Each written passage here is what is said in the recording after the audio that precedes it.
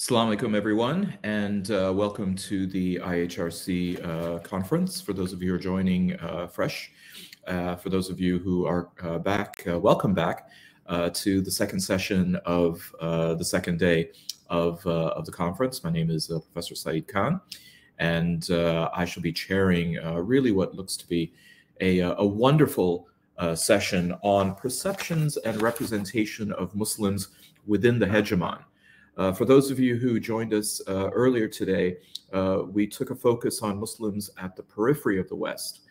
Uh, this, of course, contrasts that because it shows uh, the situation of Muslims who are, in fact, living within the West already and how the shifts that are happening uh, in matters of Western security, Western economies, Western identities, how these then are going to impact the Muslims living in the midst of all of these changes in the in the so-called core, if you will. Uh, a different perspective, uh, a different set of priorities, a different set of anxieties, and a different set of challenges uh, can certainly be seen uh, when it comes to that particular phenomenon. Uh, we have three excellent uh, keynotes who will be speaking, followed by two very excellent panelists as well. And then hopefully we can go ahead and have a very nice synthesis of all of these uh, minds and voices in the Q&A session. For those of you who uh, would like to, please go ahead and uh, supply your questions in the comment section, and uh, we will go ahead and address uh, any and all of those that we can uh, within our time frame. with that, I'd like to begin with our very first keynote, who is Laurens de Uh, Laurens is a specialist in psychology and mental health, a lecturer in Islamic studies at the University of Chester. He obtained his PhD from Durham University, and his research examines how non Muslim people in Britain uh, interact with news reports about Islam and Muslims and how that affects their interpretation and conceptualization of Islam and Muslims. Uh, and I think that this is a very important um, element to go ahead and examine because not only uh, are non Muslims, of course, uh, affected and impacted by the media depictions and representations of Muslims, but also how those representations and depictions are internalized by Muslims uh, who live in the West. So, with that, I'd like to turn it over to Laurens. Laurens, great to see you again. Yeah, um, sorry, great to see you again. Um, and thanks for for having me here today. Um, I apologize for sounding a bit croaky. I've just come out of a bout of the flu, so I'm I'm I'm on the mend. But yeah, um, my voice is still a little croaky, so I hope it's okay for for everyone listening. And uh, if there are any issues, please just um, ping me a message, and I'll try and um, uh, solve the, the problem if I can.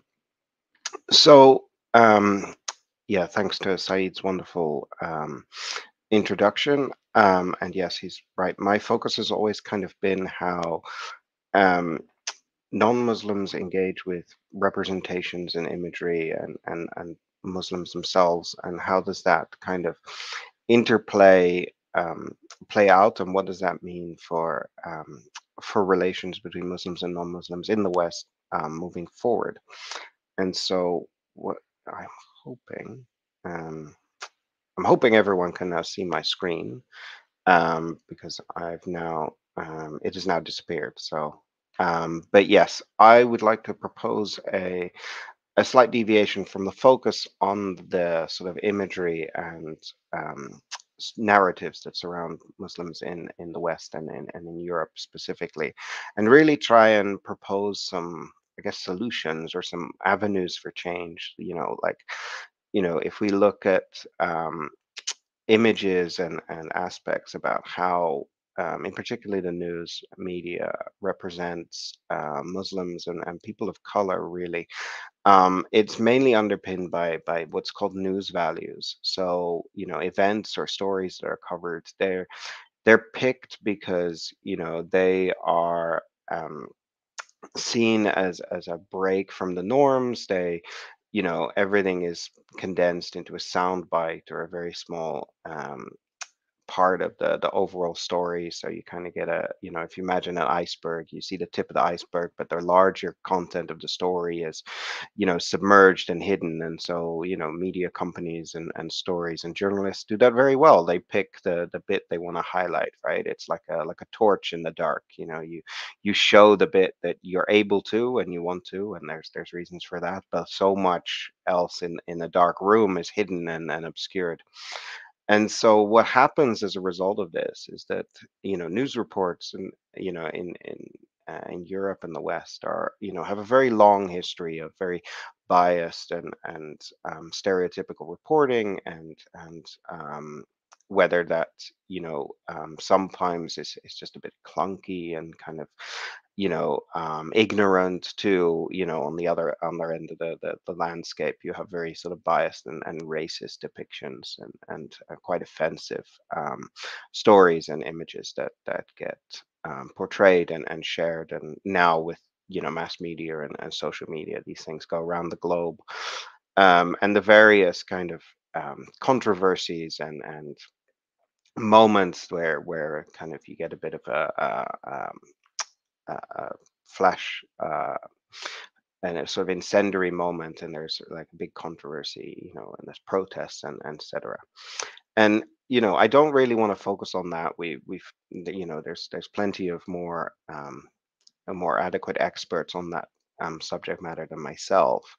Um but what i've really been focusing on the last couple of years is how do we actually move forward? Like how do we take all this wonderful activism and scholarship and analysis that you know has has a very also a very long standing history you know i think in as far as you know when people start to um, people start to um, you know sort of uh, react negatively against uh, a certain action you know you you get both sort of pro and against and that's kind of the the birth of activism right? So as long as there for as long as there's been negative stereotyping of of, of muslims people of color etc uh, there's been um, activists for change and and uh, people demanding recognition. And so but because of that long-standing history, I feel like the certainly in the last few years, you know, following things like Black Lives Matter and those kind of things, things have been a bit stagnant. I think the the moments for change people were expecting and hoping to see haven't actually happened.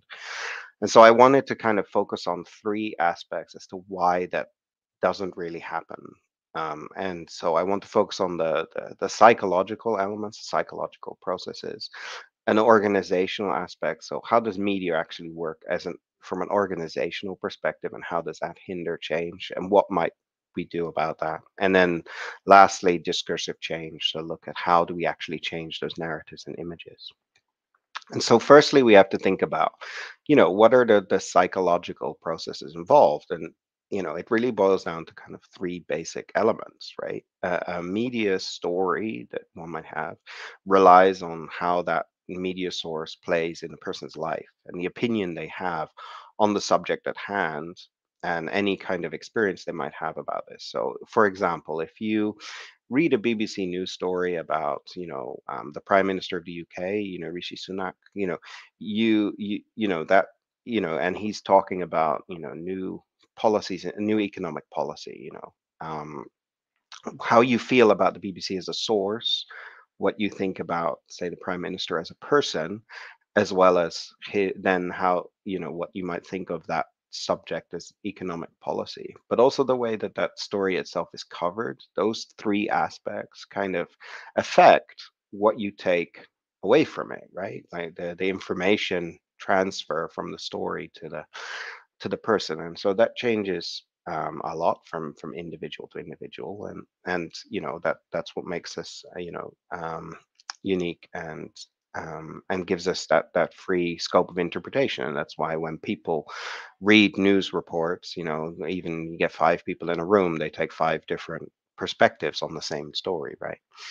You know, um, but you know we what you kind of want to see is a, is a change in that interpretation right? So that when you know partly because when stereotypical news stories are regurgitated and presented over time you would want people to have a slightly more complex and nuanced understanding and be able to place that in its position in the same way that we would like to think that when the prime minister's economic policy is revealed people would be, have a sort of you know um, somewhat educated debate and understand that you know um, tax breaks in in this place and versus you know um, stimulus here and there you know what is the overall strategy? And i think part of the issue people have with politics in the uk is that people can't see the overall strategy but that's a debate for another day.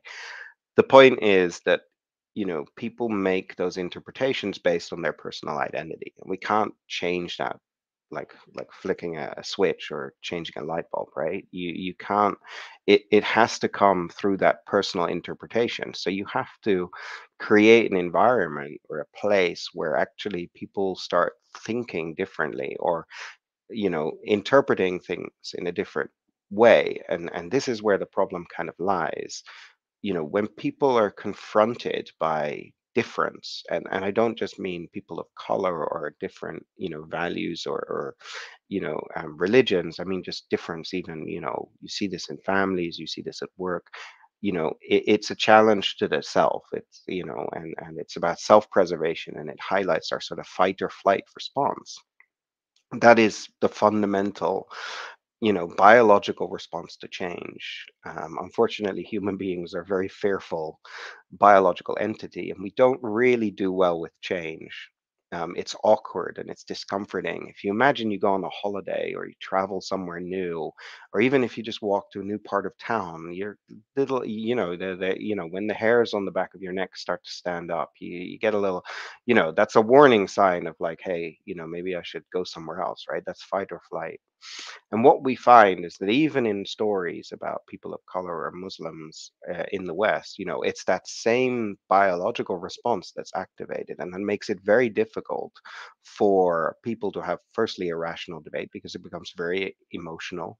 But also, people are fearful, and that's further reinforced by repeated stories about terror, about issues, uh, you know, immigration, us versus them paradigms, etc. And so, what we actually want should be aiming for is this split from fight or flight to what's known as tend and befriend. And actually, in that first instance, when a person is kind of in that sort of state where they're trying to figure out how to manage change in that awkwardness and discomfort, the response should be a very kind of tender and almost an overly friendly response. Make it super positive because that narrows the the negative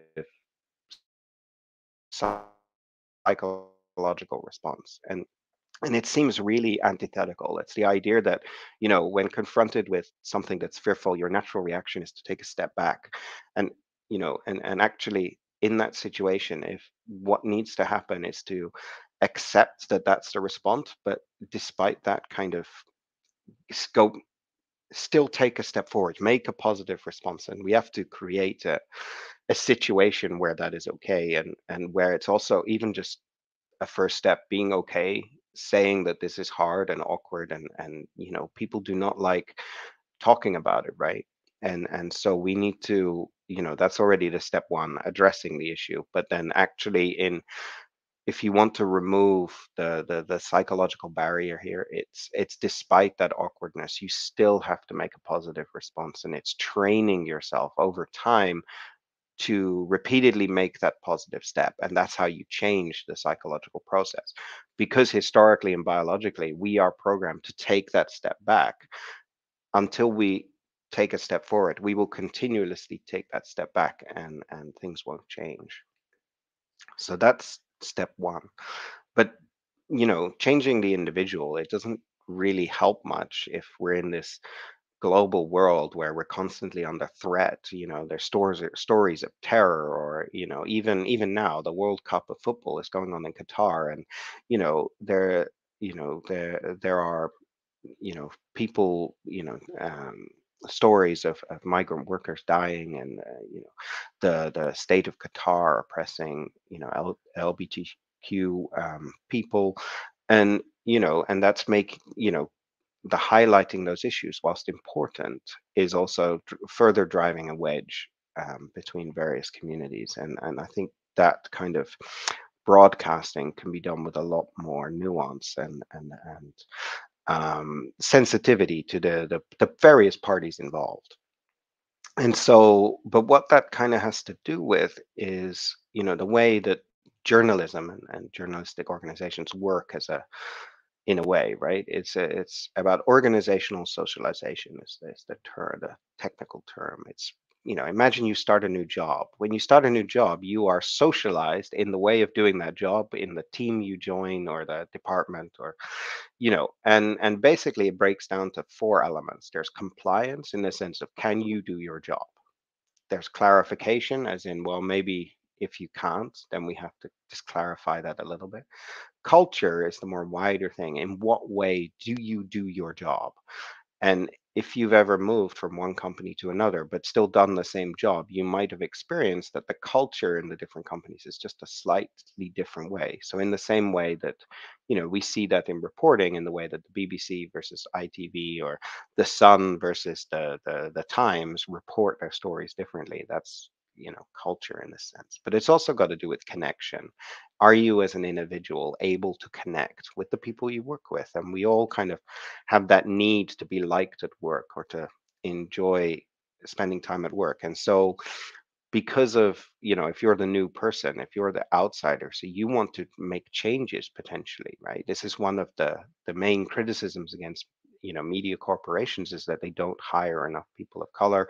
There's not enough muslims working in newsrooms in order to promote muslim stories or you know um, in muslim interests within sort of western newsrooms. And it's partly because of this that you know the the media culture the organization's culture will make it very hard for people to fit in and have that connection but they will also kind of get filtered out through the hiring process so whilst the person they employ will probably be able to do the job very effectively it's more on the cultural and connection aspect that they just fail they just um, and even if they do make it the the sort of research and analysis that's been done of people who work in those um, domains it's it's very challenging and can be very difficult uh, until you become a bit established. So, but that also has to do with how the business as a business operates, and it's no longer really a business. You know, yes, we have newspapers if we, you know, but um, think about now, news is not it's not about one entity, right? It's you know, it's it's almost one person. It's, you know, Rupert Murdoch, for example, owns so much, you know, from Fox News to Sky News to, you know, all these different businesses that have their own interests, but ultimately report back to one large media corporation, one parent company whose main interest is just um, is about profit and generating in and, and generating value for the shareholders.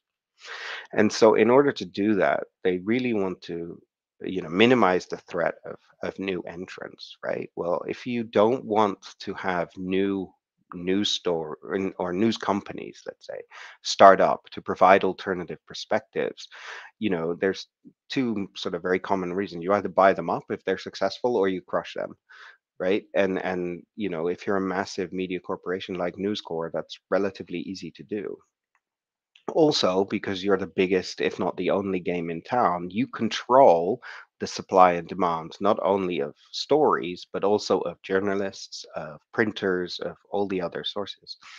And so you control the entire industry simply because you know it's uh, it's controlled centrally. At the same time because you control competing outlets like sky news fox news et cetera et cetera you can play the different angles and still generate value for yourself. So it's never really objective. It's all about just capturing an audience.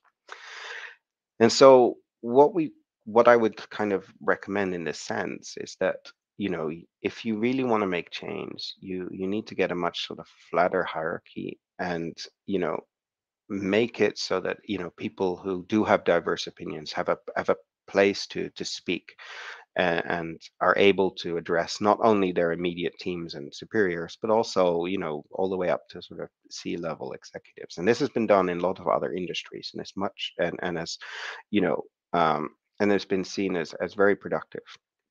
The other thing and i think this would be i think arguably the biggest um, change would be that you know the CEO must must be a former journalist. Um, you find this in certain um, technical industries where the CEO must have a background, say, in R&D, research and development. And the reason being is that, you know, understanding the technology and the reliance on that for the viability of the business um, is important, obviously, for a technology company. So if your if your main industry and your main product is journalism, having your main your CEO being a former journalist, understanding the job and its sort of the good and the bad, I think would would really make a big change rather than someone who's who's all who's a businessman and it's all about um, money. And I think that's also then when you're going to see more about the changes in that narrative. And this brings me on to what I was saying about discursive change. A lot of the talk about Muslims and and um, people of color in, in the West is is safe. Are are there safe targets? They're they're vastly in the minority. I mean, Muslims in the UK make up five percent, six percent of the population. So, you know, no matter you know, certainly on the national level, any sort of outrage that your um, newspaper might cause by a certain story, still got 95% of the population who potentially would read it. So you're not as um, restricted by potential outrage or alienating customers. And so again, you have these safe customers, these these uh, safe targets, these groups that you know become targets of polarizing treatment simply to sell stories, to curate an audience, and to you know but through that we actually uh, uh, you know the audience learns to understand people because again they're vastly in the minority muslims like i said make up five six percent. So for lots of of people in, in say in the uk they they don't encounter them very much. And so that you know when they do encounter people of color and muslims in particular you know people are a little fearful, maybe curious. Um, you know, you you know how how anyone I guess would react when they encounter something for the first time. But the way they engage with that subject of, of new information and and that person is done through their own identity and the memories that they have. And so if that identity and those memories have been pre-formed and shaped by negative media material and uh, you know um, very um, combative political discourse and and things like that, then you know any kind of um, engagement with change or, or, or, a person of, who is different in a meaningful way will be very very difficult. And so we you know to get to get that discursive change to actually how do you actually you know change the the the narrative right? You because we we try to persuade people. We want people to understand. You know, if if you know, there's so many people who do not uh, believe. Uh, you know, sort of have stereotypical um, opinions or or have racist beliefs about other people, and yet it it has been found to be very difficult to convince those who do that they are wrong. In the same way that convincing people of certain conspiracy theories is also um, has proved generally quite futile and and yet it is something that that we um, we would try naturally um, all the time in the same way that the, the they would try to um, convince others of their beliefs. And so what we really in order to actually get this narrative to change effectively in the long term i think these three aspects this discursive change this organizational change and that psychological element need to really be done at the same time um, or as much as possible. And only in, in those instances will it have some sort of um, effect. I think if we don't see that, you know, that organizational change will not be possible if people aren't fearful of change or you know because businesses are risk averse. They they you know maybe or maybe not risk averse they're loss averse right? You know they they don't want to lose money. It's a big investment to hire a new person to you know change the way you're you're approaching. And so you know when we you know and so what i want to end with is when we think about changing the narratives how to you know and integrating you know muslims into um, Western societies in a qualitative uh, manner, you know, it's you know those are the things that are required. And unfortunately and that is the sort of nefarious side of dis- discourse it is very difficult to to kind of understand those elements when you are subjected to only the the minor um, effects of it right? And and and i guess you know in a, in a very sort of ironic sense i kind of i always i'm always thought uh, um, thinking of you know um, the Netherlands' greatest philosopher, often called Johan Cruyff, when he's one of his most famous quotes is, "You only really see it when you truly understand." And I think this is the problem.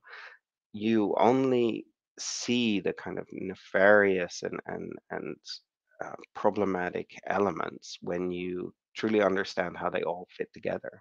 And so, in order to change that that discourse, it is not enough to just say, well, we need positive representation or, you know, the stories need to be unbiased or, you know, um, because, you know, journalism logic would say, well, any story should have two sides. But, you know, if you have 99.9999% feel one way and there's one person who feels the other way, an unbiased biased story would be to have both sides reflected, even if that's not how it plays out in the world right? And and so that and that's what i meant earlier with when i said you know some of this reporting about certain issues can be done with a bit more complexity sensitivity and nuance. You know things aren't black and white always black and white and things don't always have equal equal sides. And so yeah what i want to end with really is that only when you see that change in the discourse and um and the uh, it relies not only on the discourse changing the discourse itself but also how that discourse is supported organizationally but also from a from an individual level we as as people um, live together uh, not only as individuals but also in communities and, and organizations and you really have to um, change how we relate to each other not only on an individual level but also on that communal level and then simultaneously change that discourse. And i think that's the challenge moving forward is how to do that. Um, and yeah i would like to to end it there um, for today. All right. Thank you so much Laurens. Uh, i think this last point that you make is so vital particularly for the muslim communities living within the hegemon who may feel or are certainly perceived to live in more than one community which then of course evokes multiple narratives and especially when, as you describe with the media, uh, how this is deployed uh, can create a multitude of challenges. I, I must say that uh, when it comes to Dutch philosophers, Spinoza, Erasmus, Grotius, and now adding to that uh, Johan Cruyff, uh, I think it is certainly uh, very fitting with the World Cup going on right now. So thank you again. Uh, Laurens, for uh, for your wonderful remarks. Uh, next, we will be hearing from Dr. Ian Almond, uh, who is professor of world literatures at Georgetown University in Qatar.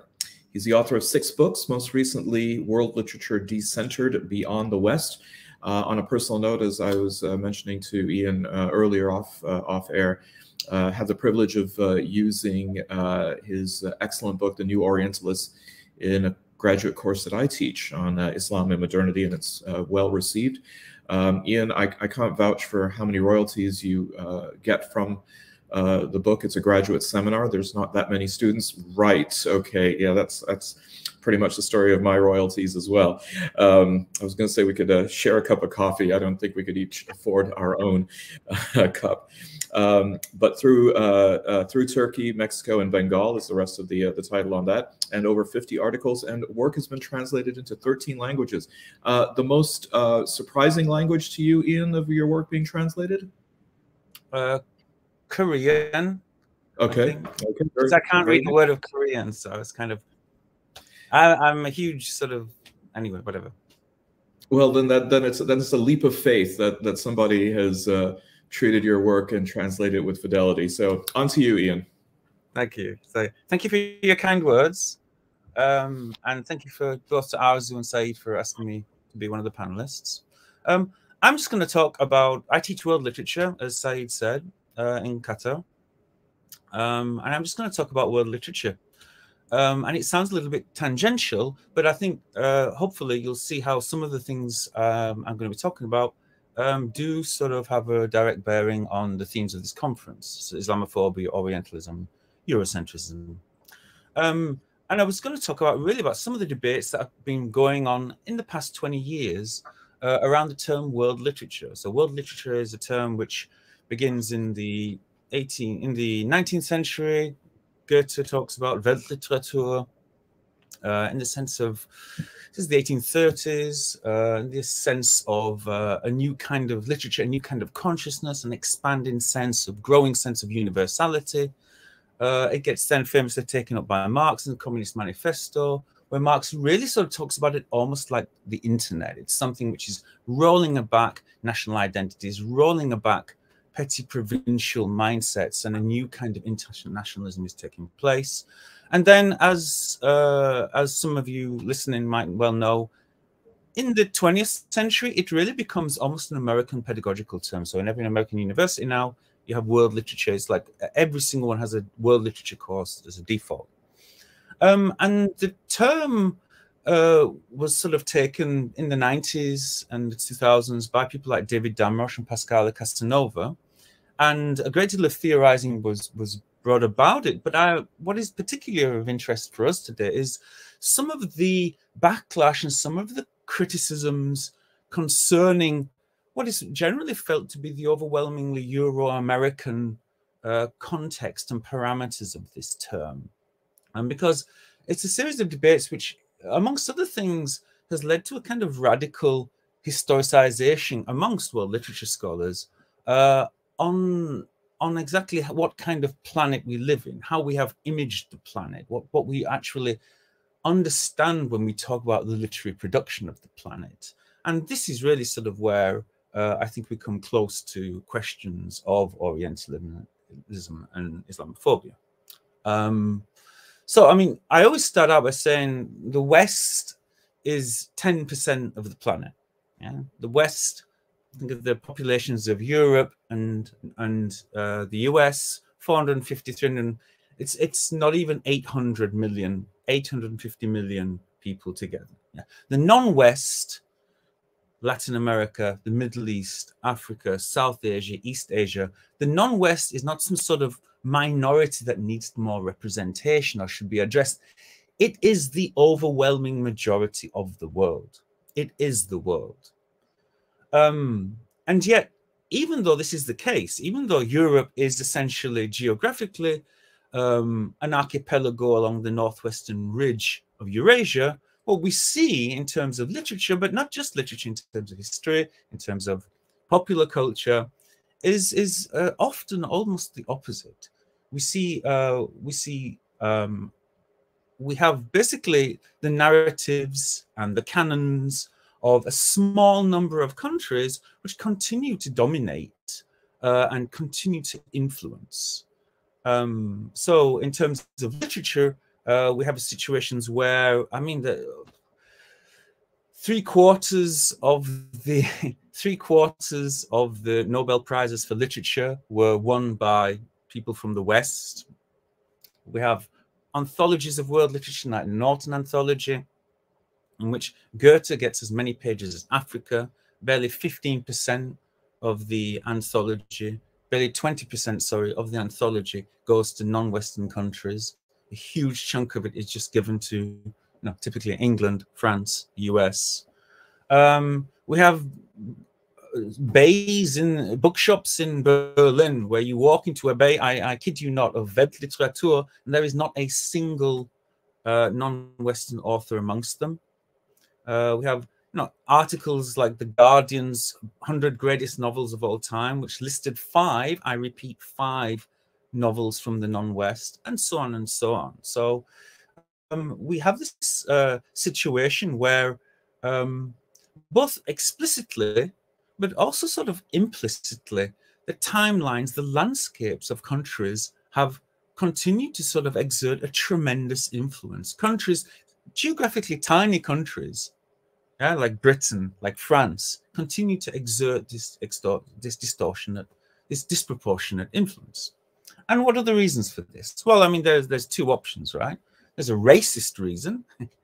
if you if you're if you're racist, if you understand reality racially, then yeah, of course, sort of Europeans and Americans are basically just more creative, more intelligent, uh, more brilliantly spontaneous than other cultures, and historically, this reflects this this sort of cerebral disproportion. If you're racist, but obviously, if you're not, then there's a much more straightforward reason why um, the canons, the tastes, the cultures of a small half a dozen countries continue to be uh, recycled and reiterated around the planet. Uh, and that is colonialism. But we see really is uh, a, what we have is a situation whereby um, the former colonizing countries have successfully instaurated, have successfully installed within the colonies they freed, uh, they they left to independence, uh, the mechanisms for their own self-mythologizing, the mechanism for their own self-perpetuity.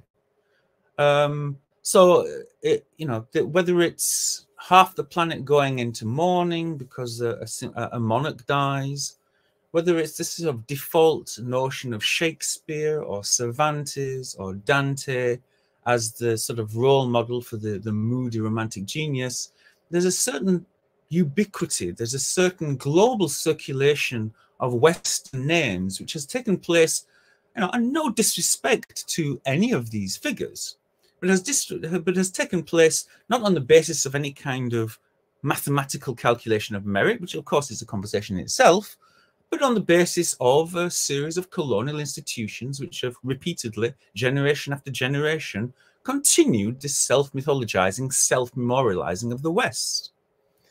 Um, now, when I talk like this, you know, obviously it's not a it's not a monolithic situation. You know, obviously there are complexities to this. Obviously there are countercurrents. Um, off the top of my head, the, the two that stand out for me is Latin American magical realism, you know, the extraordinary formative influence of writers like Borges, Marquez, Cortázar, Isabel Allende on, on the West, in particular, Borges and Marquez. These are formative non-Western writers that have influenced a whole generation of, of European and American fiction, no doubt about that. And then I suppose another example would be Japan and, and much more recently South Korea.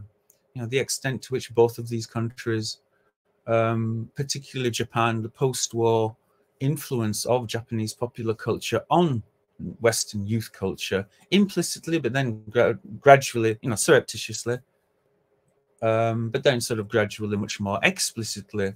These are two examples. Um, but even if there are qualifications to be made in both of those, I don't think it's an I don't think it's a coincidence that that um, Japan's and South Korea's uh, enthusiastic embrace of uh, free market capitalism has been a factor in their in the ease with which they've been adopted by the West, and also I think in in the case of uh, you know writers like Borges and Marquez, uh, the certainly in the case of Borges, the fact that Borges engages so much with Western authors again was a kind of central component in his success in uh, France and England and the US. But nevertheless, um, what we find, even with bearing in mind these complexities, um, overall is a situation whereby a small half dozen countries essentially set the parameters um, for the literary trajectory of the planet. Um, so if you're if you're a writer from Mauritania or Burkina Faso or Paraguay um, or Oman, you're going to have a much much harder job writing for an audience which has no familiarity whatsoever with the topos of your work. You know, in, you know, in, in sharp contrast to a um, you know, a, a, writer from New York or from London or from Berlin or from Paris or, you know, writers who already have not just um, a cultural context in which they work, which all writers have, but a cultural context which is um, which is quite sort of fluent, quite familiar to very, very different parts of the planet for, for historically contingent reasons. Um, so this is the kind of uphill struggle that non-Western writers have, because you know, in simultaneously producing fiction or cinema, or they they also kind of have to half anthropologize their work. They are half explaining to an unfamiliar Western reader the premises of you know, whatever culture, whatever historical background is the is the background of the story they're relating. Um, so this is why often we see this kind of filtering effect. So, you know, it's clear that yes, we do in Western countries, we do read non-Western texts. But very often, those non-Western texts, those non-Western writers, those non-Western films, which are very famous, uh, generally are famous because they appeal to a series of templates. Um, you know, if it's an African novel, then it will involve dictatorship or famine. Or so, if it's a Middle Eastern novel, there'll be some kind of fanaticism or some kind of struggle between sort of freedom and sort of modernity and conservative religion. If it's a Mexican novel, it'll have something to do with drugs or violence. You know, there are certain crucial components that if, as a local writer, you insert into your text, it will uh, augment the distribution of your text. And of course, you know, Islamophobic discourses uh, come into this, right? Islamophilic, which is, of course, the, the flip side of Islamophobia, but the flip side of the same coin. Um, and an example, I'll just give some examples so that I'm not talking in the abstract. But I think, and I'm not dissing any of these writers here, but when you look at the popularity of someone like Orhan Pamuk, uh, who's a great writer, you know, but won the Nobel, Turkish writer, um, there are sort of there are clear reasons why someone like Pamuk is widely celebrated and widely, and those reasons are not just to do with his undeniable talent, um, but it also has to do with the fact that he does engage in a very critical and utterly intelligent way, but he does engage with Ottoman, so Orientalist frameworks, you know, sometimes explicitly, like in White Castle, often implicitly, but you know, he deals with the Ottoman Empire. He deals with the prohibition of painting, of portrait painting. Uh, in his novel Snow, he deals with Islamic radicalism. You know, these are these are much more immediate um, templates that are, an unfamiliar non-Turkish reader would be able to engage with. Same thing for Elif Shafak, another very famous writer. Not so crazy about Elif Shafak, to be honest, but um, another famous writer, Turkish writer, Turkish American writer, um, who again has Sufism, at, at, you know, has Sufism and uh, a certain kind of romanticizing of a Turkish landscape at the heart of a number of her texts. Uh, and when you contrast that with someone like Ahmet Hamdi Tanpınar, who's probably uh, one of the greatest Turkish writers of the 20th century. Um, and amazingly, his work hasn't been translated into English until very, very recently. Um, but if you don't have a, a, a good, a thorough, if you don't have a decent knowledge of 20th century Turkish history, it's kind of going to be kind of difficult for you to understand a novel like Tanpınar's masterpiece, A Mind at Peace, uh, which really deals with the kind of decadence of Istanbul in the 1930s and 40s in the wake of the immediate aftermath of the collapse of the Ottoman Empire and the establishment of the Turkish Republic. If you don't know anything about that, that novel is going to be much, much more difficult, you know. Um, so these are some of the problems we have. I've got about 14 minutes here, so I'm just going to speak uh, just a couple more minutes. But uh, what is also worrying, I think the main thing, and I'll, I'll make this main point, um, there was always a big fear 20 years ago that English would dominate the planet. There was always this tremendous fear that sort of other languages would. What we've seen in the intervening years is that that has that fear hasn't really been actualized. So domestic literatures and domestic cinemas, by which I mean cinemas in the local languages, uh, are very very strong.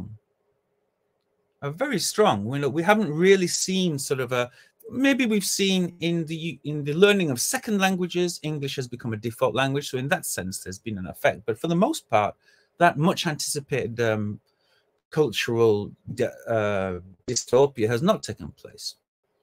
What we have seen, however, um, is the influence of not language, but genre. It is genre, not language, not English per se, which is really doing the work of cultural influence. It, and because it's always, you know, we're talking about film noir, we're talking about vampire, we're talking about all kinds of different genre.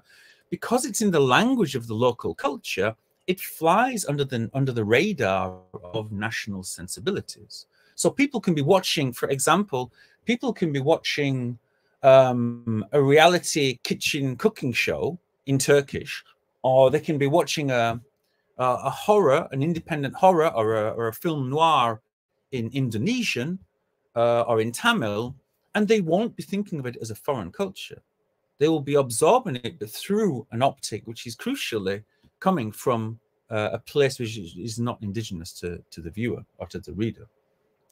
So, I mean, those are some of the um, those are the, some of the points that I just wanted to throw into this. Um, and that, you know, maybe how am I doing, Saeed? Can I just um, I'm at 16 minutes actually? I'll wind it up there. I'm fine. I'll wind it up. There. Thanks okay. very much.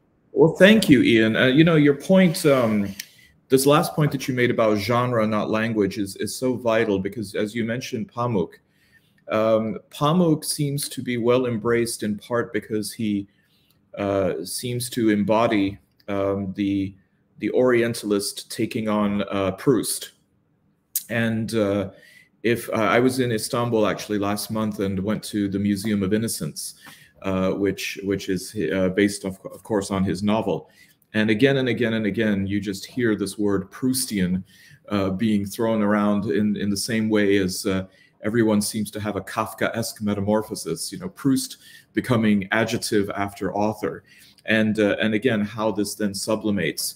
And uh, certainly something that we can talk about in the Q and A is the impact of uh, Western lit on Muslims living in the West, and particularly how that acculturates them from a very young age primary school uh, moving on. So thank you, Ian, um, both for your remarks now and of course your your body of work. Uh, well, next we're going to be hearing from uh, Denijal uh, uh, who is a visiting assistant professor of communication at the Department of Communication, Arts and Languages at the Lebanese American University in Beirut.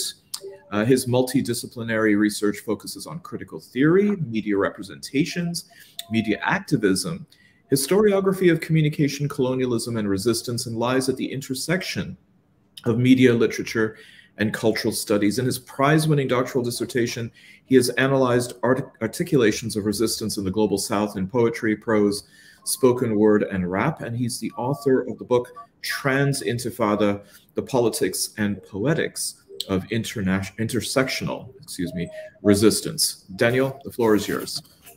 Thank you very much. Um, thank you again for inviting me to this conference. I really appreciate it. Um, and what I'm going to talk about today, um, I would like to present you a paper that I've been working on, um, in which I'd like to reflect on the Islamophobic and particular sectarian uh, representation of Lebanon uh, and Iran, uh, in particular in this current contemporary imperialist media discourse um, which is part of uh, uh, research I'm working on. And I'm particularly interested in um, discussing hegemonic media narratives and the uh, current exploitation of Orientalism and uh, sectarianism in contemporary colonial uh, media discourse. And I'd like to start by highlighting a point um, a situation uh, that we can currently see in downtown, in the downtown area area of Beirut, uh, in order to illustrate uh, the point I'm trying to introduce.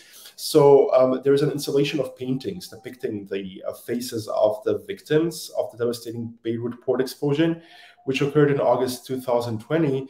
And um, some of these pictures are accompanied with the written words Iran out, uh, A uh, O U T.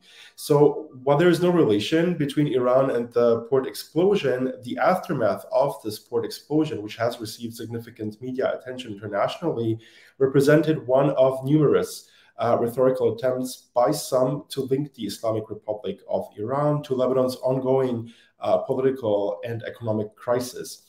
And adding to decades of negative representations of Iran in local, regional, and international political and media discourse, uh, current developments in Lebanon that were identified uh, as somewhat newsworthy and have been discussed in Western media have at times been framed within this context of alleged Iranian influence, intervention, and even uh, the idea of an Iranian uh, occupation of Lebanon.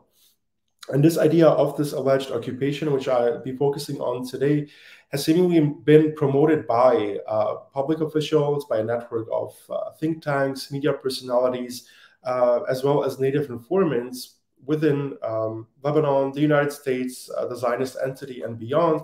And in fact, uh, both Zionist entity and US officials, as well as several Lebanese politicians, have on numerous occasions scrutinized Iran's role in Lebanon as destructive and either uh, directly related or even responsible for the ongoing uh, economic and political crisis uh, in, in the country.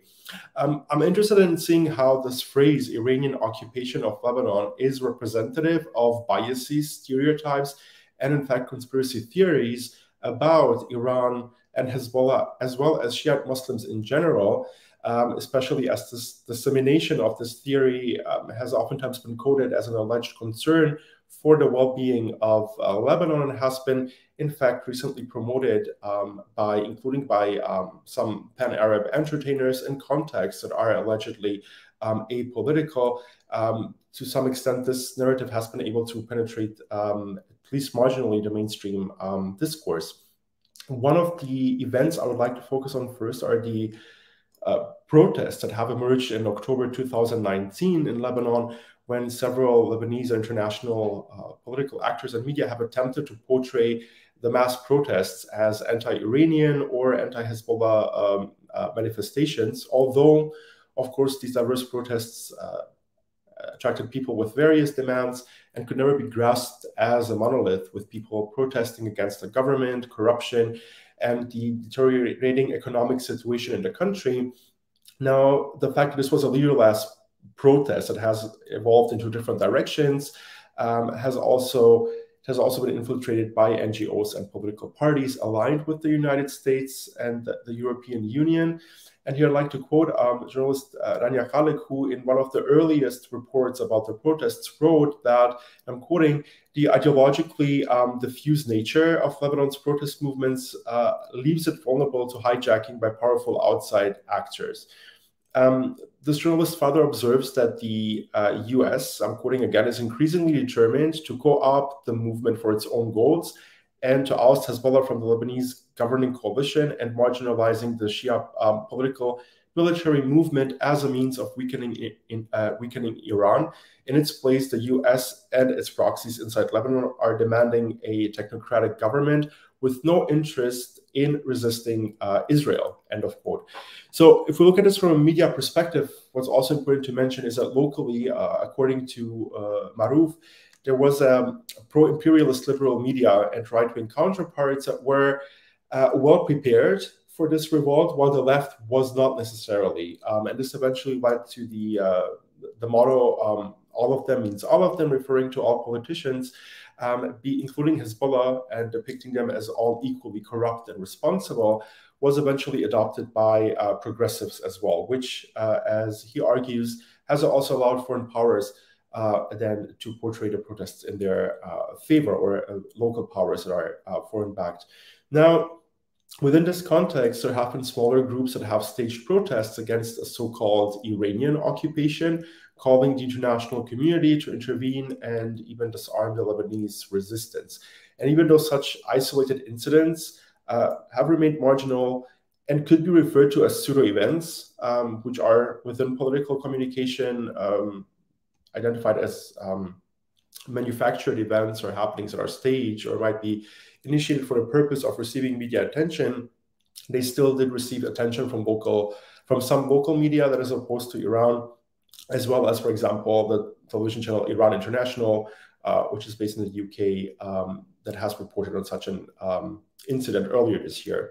Now, um, adding to this creation of consent for imperialist policies in Lebanon, there have been major US media outlets that have uh, used the protests to promote, once again, the proxy narrative um, about Hezbollah and Iran, which I will uh, discuss uh, more in detail in a bit, um, but also calling for US intervention through those traditional Orientalist and, in fact, Islamophobic uh, tropes and lenses that simplify and generalize the diverse population into a monolith through, again, another discourse on uh, modernity and uh, progress.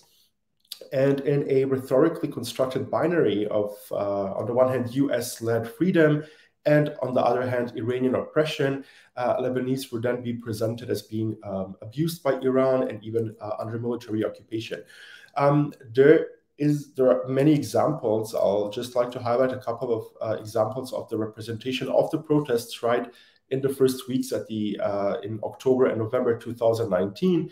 Um, and there was one piece entitled uh, "Lebanon Battles to Be Born at Last" in the New York Times, which, for example, framed these protests within the so-called Arab Spring and uh, used tropes of progress and modernity while uh, it presented Hezbollah as uh, the common enemy. So uh, within that article, we can find claims such as that 1 million, people, uh, 1 million Lebanese are uh, demanding change, but Hezbollah has other ideas. And similar statements that cl clearly attempt to engineer an opposition between the Lebanese protesters um, and Hezbollah. And the same article claims that Iran, through its Hezbollah proxy, would still be in Lebanon. And this is one of uh, just one of many examples where that add to the narrative that Hezbollah, which is an indigenous Lebanese movement, was in fact not uh, Lebanese, but installed in Lebanon uh, by Iran. Um, this is also one of the many examples where the freedom narrative uh, is presented through concepts of modernity, where Iran and Hezbollah, through their opposition to the Zionist project, are considered backward and located in a uh, intellectually inferior time and space and according to which the Lebanese would have to free themselves uh, from this occupation uh, in order to advance to those Western concepts of uh, modernity. Um, another uh, piece that was published in the same time period was titled Hezbollah had been nearly untouchable in Lebanon, but the people are fighting back, uh, which again uh, tries to define the anti-corruption protests as being as being um, uh, against Iran. And this article also uses uh, the phrase uh, gangs of Hezbollah militants, for example, to, uh, to refer to individuals associated with Hezbollah, which is another example of this uh, demonization. Uh, and again, these are just non-exhaustive examples of a continuous media representation that identifies um, Hezbollah in particular and anti-Zionist um, anti-Zionist and anti-imperialist resistance uh, as the common enemy. Um, now, more, uh, if we look at this from a his, historical uh, background, say that it's been more than four decades of a dominant uh, political discourse in the West that has targeted and isolated um, Iran and constructed it as a common enemy. Um, and here I'd like to discuss the, to what extent Hezbollah or other forms of anti-Zionist resistance are then considered as proxies of this common enemy. And here you can also think of um, Herman and Chomsky's propaganda model, which had identified the uh, anti-communist filter as the fifth filter in their uh, model, which has been used uh, in order to create this dichotomy in political and media discourse, where a successful spread of anti-communist sentiment had led to this dichotomous framing of the world in which there is the support for our side, meaning the West, uh, and how this has then eventually become part, integral part of media practice. Research has uh, showed that mainstream media um, has been less independent in the framing of issues and uh, events related to foreign policy and uh, security issues, and has increasingly relied on um, government officials uh, to frame the news. Now, obviously, the uh, common enemy uh, construction has moved away, at least to some extent, from the idea of communism, and the public enemy has changed.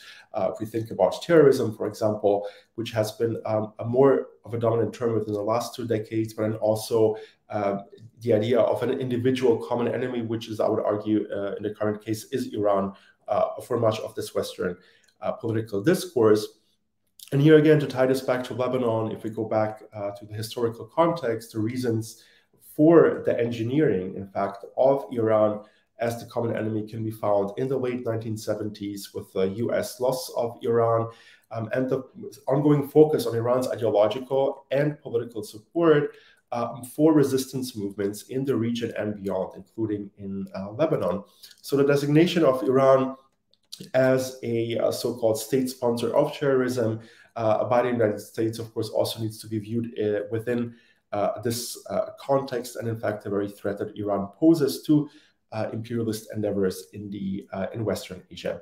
Now, this discursive destruction, construction, sorry, of Iran as a space of terror in dominant media uh, represents, again, this perpetuation of the common enemy narrative, um, but also the continuous engineering and re-evaluation of the self or reproduction of the self and the other in Orientalist terms. And as Edward Said argued uh, in, in his work, Orientalism, Orientalism as a concept uh, can mean many things, but rather than being just a fantasy, a Western fantasy, it is also a structure and a sign of Euro-American, um, Euro European Atlantic power over the Orient that has created a body of theory and uh, practice. So what is then understood um, in, the, in the West as the loss of uh, Iran has had a major impact on the self-understanding of the United States' role in Western Asia, and of course on the representation of Iran, but also on the representation of Islam in the media uh, discourse. Um, also, if we look at the time frame again,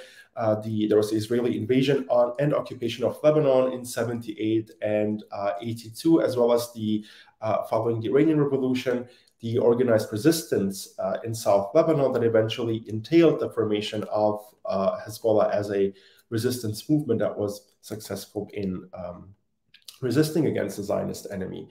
And as Edward Said has argued in his work um, uh, covering Islam in the chapter The Loss of Iran, I would like to just quote a uh, passage from it. So Said writes, and this was about the media representation of Iranians uh, during the time of the revolution. Said writes, however much the Iranian individual had gained his or her freedom from the Shah and the United States, he or she still appeared on American television screens as part of a larger anonymous mob, de-individualized, dehumanized, ruled again as a result. Yet, whether they did so consciously or not, the news media were in fact using their powers of representation to accomplish a purpose. This did not mean principally the presentation of news, nor the analysis of or reflection upon an important uh, new juncture in American foreign relations, with very few exceptions, the media's purpose seemed to be to wage a kind of war against uh, Iran. And I think it's quite interesting to look uh, now, four decades later, again, from the current context and reevaluate the significance of uh, Said's chapter, which has been written in 82, um, and to understand this again in terms of the geopolitical reconfigurations in the region and how they have affected their representation in dominant Western media, um, especially if we think about the implicit dehumanizations uh, of Iran, again, in those dichotomous terms, through this power of representation continues to determine the contemporary news bias uh, on uh, Iran. Now, um, coming back to the idea of the occupation um, of the uh, alleged Iranian occupation of Lebanon, I'd also like to uh, briefly discuss the realization through language um, in the media representation, which is oftentimes depicted through the uh, colonial uh, narrative, but also through metaphors. So, for example, there's been an article uh, in a, a major um, regional media that was titled Hezbollah will not churn Lebanon into another Iran from 2022 that exemplifies very well those fatal dimensions that are attributed to Iran's involvement in Lebanon and I'd like to just um, highlight the first paragraph in particular of this article, um, as I guess it illustrates those ideas about Iran and, in fact, the Shia population in particular. So I'm quoting um, Today, Lebanon finds itself in the grip of an Iranian project that once again infiltrated through a sect. But unlike other interventions, this project jeopardizes the idea and specificity of Lebanon as a country. It abolishes Lebanon as the um, as the world has known it since its establishment and destroys all the features of the country, which was built on coexistence through dialogue and consensus on the entity's continuity as a hub for finance, education, medicine, trade, and tourism in the region. The Iranian project has greatly contributed to ending this hub and does not even deny it. So you can just see another construction of, again, Lebanon as the victim and Iran as the aggressor, and Shia Muslims uh, as a sect as the invaders. Um, and here, in fact, again, another conceptual metaphor, which I guess for the sake of time, I will not go um, too much into detail, but would just like to refer to the research uh, conducted by Lakoff and Johnson, uh, and Lakoff in particular, who has uh, analyzed the US political discourse that was used to justify the invasion of uh, Iraq in which the US administration has used those metaphors that um, um, where countries or states or governments are personified and uh, constructed as neighborhoods of friends and enemies, uh, which can be applied to the analysis of the representation of Iran um, and Lebanon. And the same metaphor is mirrored in numerous news articles, including one published by a Saudi newspaper titled Welcome to Iranian Lebanon, um, as well as um, other uh, articles and reports published by um, local international media as well as uh, think tanks.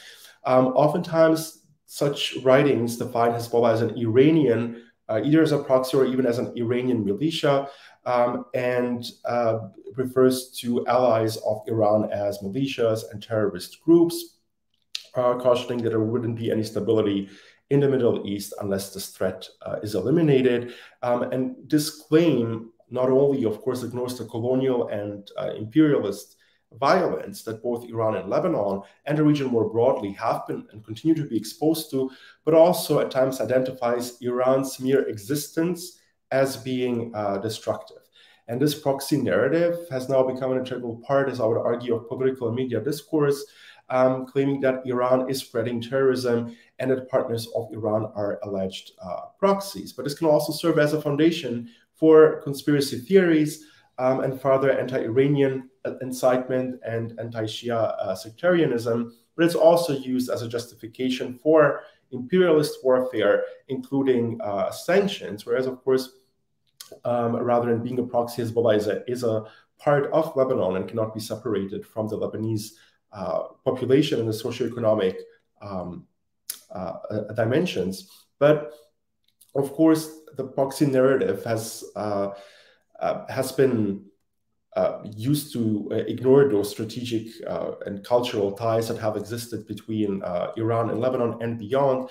And I think Professor Amal Saad has deconstructed this very well in a, a recent research paper, where she has argued that that stressed that those, and I'm quoting here, that flawed assumptions that centuries old uh, Shia religious networks in the Middle East are the recent outgrowth of geopolitical competition uh, between uh, between regional powers would be uh, ahistorical and that it erases cultural, uh, sorry, erases centuries of cultural, social, and political ties and interactions uh, between uh, Shia communities. So here again, we can also conclude um, from this that there's a continuous dehistoricization taking place. And just a, a, last point that I would like to mention, which I also think requires, uh, like the other points I mentioned, more research, is the um, usage of this proxy narrative and of the uh, colonial narrative um, for continuous racialization. And I think the COVID, the emergence of the COVID virus,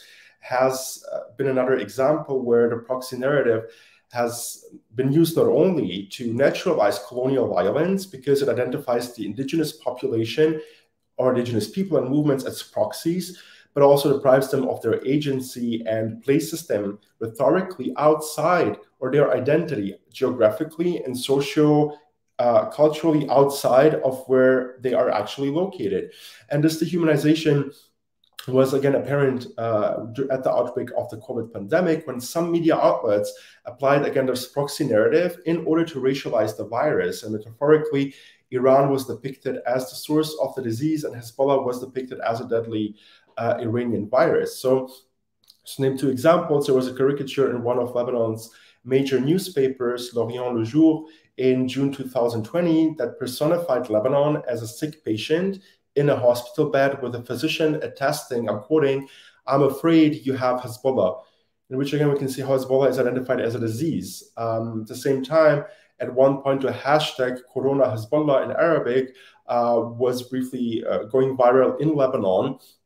And so I think this use of virological language uh, to refer to people and movements as diseases can again be seen as a continuation of this traditional anti-Shia uh, uh, sectarianism and persecution um, as such. And in fact, an article in the um, newspaper Al-Sharq al-Awsat began at the time with the lines, I'm quoting, some in Lebanon are casting blame on Iran, the supporter of the country's Hezbollah party, after the country's first case of the new virus was discovered on a flight from the Iranian city of Qom this week. end of quote. And then this article quotes an editorial um, from a local TV channel that um, is aligned with a party that is opposed to Hezbollah, saying, I'm quoting again, as if what Iran is sending to Lebanon and the Lebanese is not enough, so it sent us coronavirus. And just another uh, example of a similar view that was expressed in another um, regional newspaper was, as an opinion piece, uh, identified as the title was Coronavirus Iran's Kiss of Death to the Lebanese, which tried to establish a connection between Hezbollah and the coronavirus by pointing out that, or by uh, that the virus emerged in China, and then claiming that because China, uh, Hezbollah was an ally to China, that many in Hezbollah's community were concerned because, uh, as the author claimed, Shia would be more exposed to the coronavirus because it was coming straight to them from uh, Iran and then makes uh, additional claims uh, linking this to Syria um, and, uh, and so on. But I just wanted to highlight those as examples how um, current political um, or in general, newsworthy events can lead to uh, different forms of realizations of this proxy uh, narrative, of the colonial narrative, and then be again used to further perpetuate this idea or illusion of a so-called uh, Iranian uh, occupation of Lebanon.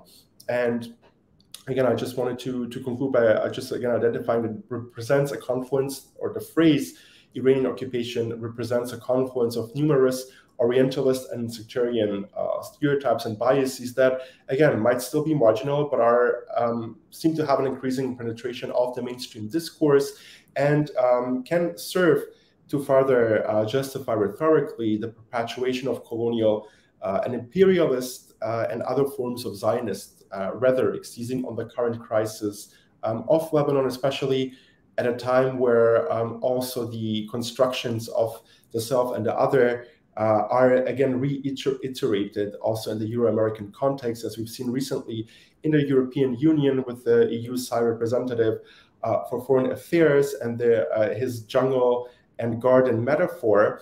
And so I guess the uh, there, there absolutely needs to be more um, more research and more conversations on these individual linguistic and media representations and uh, manufacturing of uh, sectarian, Islamophobic, and Orientalist, in fact, uh, narratives. Thank you. Thank you so much, uh, Denijal, uh, for some really incisive remarks. I, I, I, think about the the dynamic that you present coming from the Detroit area with a large Lebanese American population, and certainly the framing of these issues then uh, plays very heavily on how it's either internalized or opposed by uh, the Lebanese American population, which uh, in the Detroit area, many have uh, very close ties to southern Lebanon and certainly affinities toward, uh, toward Hezbollah. So that uh, certainly looms very largely in shaping that discourse for Muslims living in the hegemon.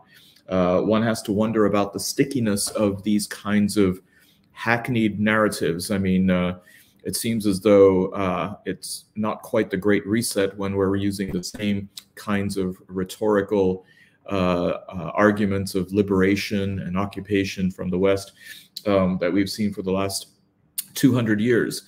And uh, whether there's still the kind of resonance that these have, uh, similar to what we saw last year with the Taliban uh, whether, as Malcolm Gladwell would say, uh, does it have stickiness uh, in in uh, the the broader uh, discourse, or whether if there is a decline there, if that is indicative of again a sign of the West having diminishing influence. So thank you very much for those for those comments.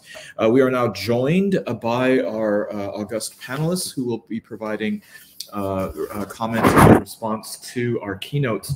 Uh, we have uh, uh, Setareh uh, Sadeqi, who's a PhD in North American Studies from the Faculty of World Studies at the University of Tehran. She's an independent researcher and has worked over 18 years as a translator and a teacher. She has appeared as a political commentator on various news outlets, including Al Jazeera, NPR, TRT. And her interests in research include propaganda analysis, rhetoric of social movements, Iran US relations, and sanctions. And we also have uh, Malia uh, Bouattia, uh, who's an activist and former president of the National Union of Students, NUS, in the UK. She was a co-founder of the Students Not Suspects Educators Not Informants Network, and she is an editor at the New Arab and Red Pepper magazine. Uh, why don't we hear first from uh, Setareh, and then we will hear from Malia.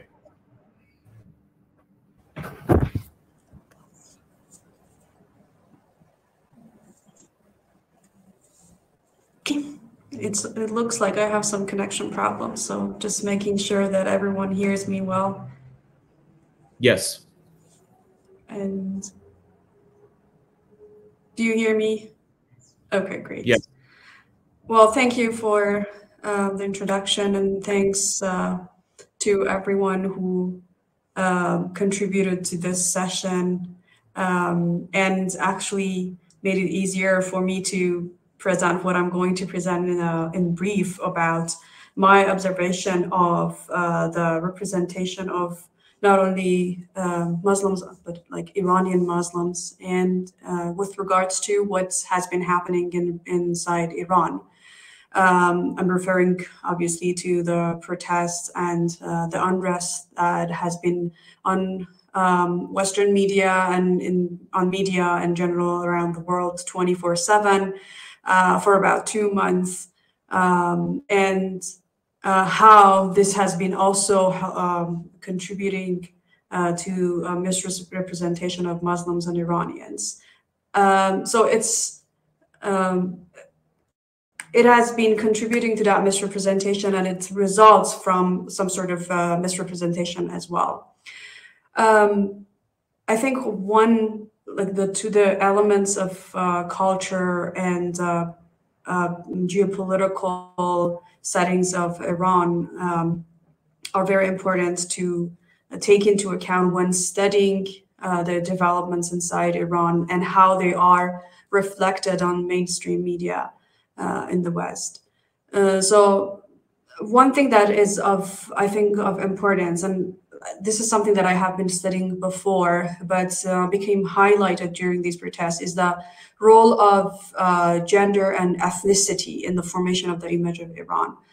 Um, you know, as according to the theory of international relations by Herrmann, uh, image theory proposes a way to structure the study of perceptions in international relations. And um, the those uh, structural features um, they play an important role in establishing a particular image uh, of certain nations. Um, in other words, I would say that images of other nations that can be stereotypical result from the perceived relationships of uh, between nations, and they are exploited to justify a desired response towards that action. This is something that um, I think it, during the recent unrest and how it has been portrayed um, became very important. As Alexander and others argue, um, if attacking or sanctioning another country is not sufficiently justified, it jeopardizes the national self-image of uh, the nation that is targeting as moral or a rational entity. So this is what the U.S. especially has been doing um, against Iran, but also against all uh, other um, nations that it has occupied or established some military uh, base or sanctioned.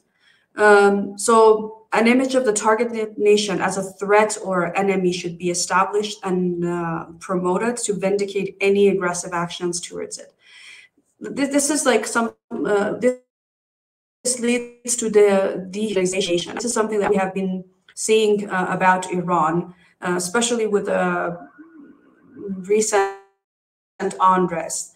And uh, goal of all those uh, images coming from Iran, and many of them actually fabricated, was to show that there was no evidence of normal life uh, going on in Iran. So, um, and people are under so much pressure and they are so oppressed uh, that they need uh, the U.S. to be to come and save them.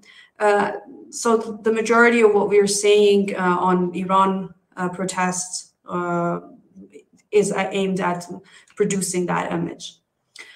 Um, when I'm talking, like one example would be in 2019, uh, my personal observation of the protests living here in Isfahan and in Iran and traveling also to Tehran is the 2019 protests that erupted over fuel prices going high were even more uh, widespread and a lot of people were uh, killed during clashes or um, by security forces as they were trying to repel the, for example, the overtaking of a police station or uh, dispersing uh, protesters in, uh, especially in um, sensitive areas. Uh, but uh, the those protests did not get uh, anything equal to what we're going, what we're seeing um, here. I mean, they did it did not get equal coverage as what we're seeing these days. And I this is mainly because if you tell people around the world that Iranians are protesting over fuel prices, this is something that happens um, in many different countries, and it does not otherize Iranians. This is a common grievance by, held by uh, nations across the world. But when you tell them that people in Iran are protesting because women are told by men to cover their head, and this is like an oppressive um, law that is happening inside Iran, then that's something that a lot of people across the world uh, find outrageous because of the image that they have of Muslim and um, the Western liberal notion of freedom for women that they already um, hold. So you have an Islamophobic image, and these protests and the, the way they are covered adds to the Islamophobic dimensions of the images that we see of uh, um, Iran, Iranians and Iranian women in general. So I think um, it's very important to um, to observe and to be very careful of the Islamophobic uh, coverage of the things that are happening in Iran. We're seeing um, in most of the uh, coverage is uh, not only about the protests, but all throughout the his, the modern history of Iran and and uh, especially after the Islamic Revolution, whatever comes from the West about Iran is portraying Iran as an irrational actor. Um, this is also this, and I think it's very important to remember that any um, depiction of um, Iran as an uh, irrational actor in international politics um, consists some elements of Islamophobia because it usually uh, comes from an idea of uh, uh, an Islamist or a theocracy rather than a democratic, uh, with all the um, shortcomings and problems that it might have, uh, a democratic setting that is meant to rely on people's votes and use Islam as the basis for the constitution.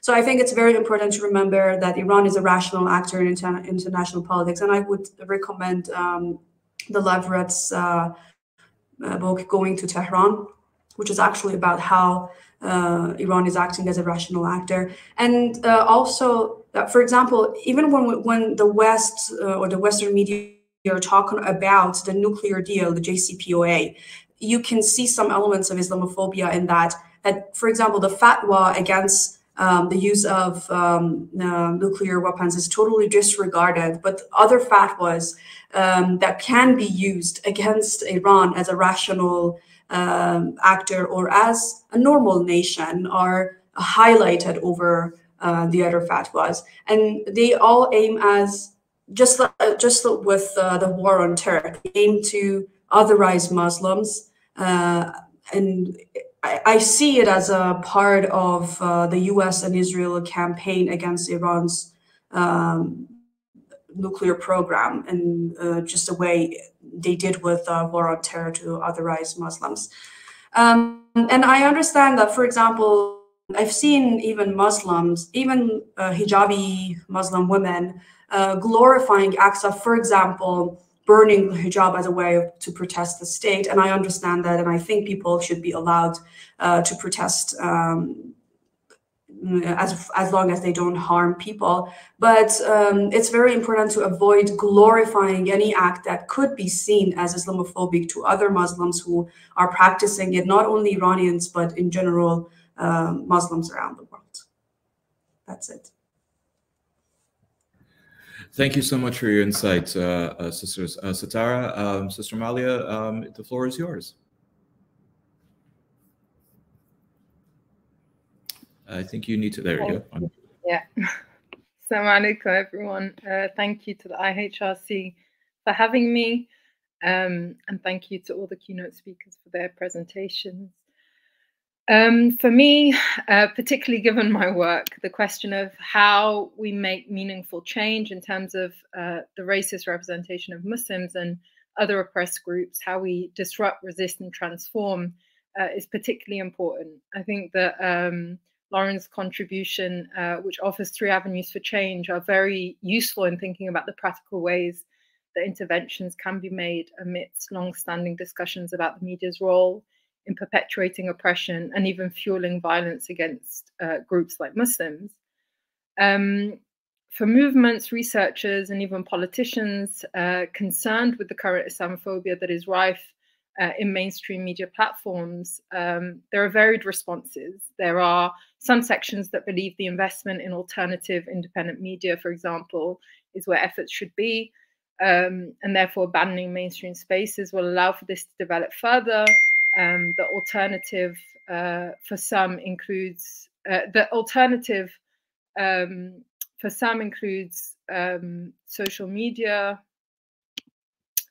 um, which has arguably allowed everyone to be a journalist uh, to uh, to a certain extent, or at least to believe that they have more power um, to disseminate knowledge. Um, there's also the argument that those that fit into the category uh, of mainstream media um, will forever um, will forever uh, be the trusted go-to to where information is sought, and therefore the fight within these institutions is necessary uh, for the narrative to change on Muslims and others. Um, all, of course, uh, are necessary. Alternative spaces, you know, which include uh, voices from the very social justice movements combating oppression across society undoubtedly play a role in shaping and shifting the narrative. Uh, it's not immense or very radical in the immediate, but it happens. Um, and one of the examples that um, is, was mentioned um, is the uh, Black Lives Matter protest in 2020 following the killing of George Floyd uh, by police in the US um, because it demonstrated this. It felt considerable for many to hear mainstream media platforms discussing the disproportionate deaths of Black people in police custody, using words like institutional racism um, uh, when it came to referring to the police um, and its historical kind of racism um, and the targeting of particular communities, and reflecting the pain, rage, and demands of movements from below who've long campaigned on these issues. Um, and this allows us to consider what we want the media landscape to look like in an ideal world, to shape, to discuss, uh, and to develop methods of, of informing that are inclusive, democratic, publicly owned, and don't peddle uh, the line of right wing politicians and big business. Um, as is organizing within outlets and institutions that are part of the problem we cannot assume that all workers within these spaces believe in the content that they're putting out, or even if they did, not all believe that the media serves to push particular political agendas. Um, and I know it's bold to say in this day and age, but some even change their minds. Um, in the UK, there are past examples of the impact of workers organizing and resisting the status quo within the belly of the beast.